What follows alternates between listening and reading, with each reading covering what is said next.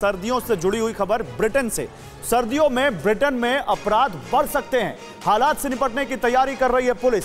सेंधमारी ब्लैकमेल जैसी घटनाओं से निपटने की तैयारी कर रही है, क्योंकि महँगाई बढ़ सकती है वहाँ पर। बढ़ती महँगाई को देखते हुए वारदातें हो सकती हैं। ब्रिटेन में भी सब कुछ ठीक नहीं चल रहा है। ब्रिटेन की इकॉनमी नंबर छह पे आ गई। ब्रिटेन में महँगाई बहुत चरम पर है। सर्दियों में वहाँ पर उनको भी गैस के लिए प्रॉब्लम हो सकती है और ये सारी चीज़ें वहाँ पर लॉ एंड ऑर्डर की एक बड़ी सिचुएशन क्रिएट कर सकती हैं।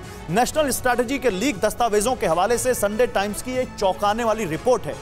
यूके यानी यूनाइटेड किंगडम पुलिस को सता रहा है ब्रिटेन में सर्दियों में अपराध बढ़ने का डर। पुलिस को लूट चोरी ब्लैकमेलिंग और ऑनलाइन धोखाधड़ी बढ़ने का डर है। बच्चों के ड्रग्स के दलदल में जाने और महिलाओं के यौन शोषण का खतरा बढ़ेगा यह डर है वहाँ की पुलिस को। और क्या डर है? लंबे वक्त तक आर्थिक दबाव की वजह से समाज में भ्रष्टाचार और अशांति फैल सकती है। एक और बड़ी खबर, ब्रिटेन में पब और रेस्टोरेंट जैसे कारोबार पर तालाबंदी की सुनामी। अब ये देखिए, कैसे वहाँ पर हालात खराब हो रहे हैं। अगले महीने 80 फ़ीसदी तक बढ़ सकते हैं घरों के बिजली बिल। एक साल में बिजली बिल साढ़े तीन सौ परसेंट और गैस का बिल 400 परसेंट बढ़ा है।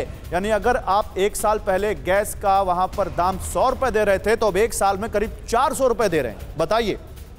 कारोबारियों ने सरकार से जल्द हस्तक्षेप करने की अपील की है और वो कह रहे हैं कि हमें राहत दी जाए। महँगाई से ब्रिटेन की एनर्जी खत्म होती हुई दिख रही है। छोटे रेडियो स्टेशन, कैफ़े, दुकानें, इन सब पर बहुत बुरा असर पड़ा है और कुछ कारोबार तो पहले ही बंद हो चुके हैं। फ़ूड बैंक रेस्ट हाउस समेत दूसरे कई कारोबार पर 80 फ़ीसदी महँगाई का ताला लटकने वाला है। 2021 के बाद छोटे व्यवसायों के बिजली बिल साढ़े तीन सौ फ़ीसदी और गैस का बिल 400 फ़ीसदी बढ़ा है। जो बिजली कनेक्शन 24 लाख से रिन्यू हो रहा था, अब एक करोड़ रुपए हो गया है। 400 परसेंट से भी ज़्यादा का इजाफा और यही बहुत बड़ा यहाँ पर ब्रिटेन के लिए एक चिंता का सबब है।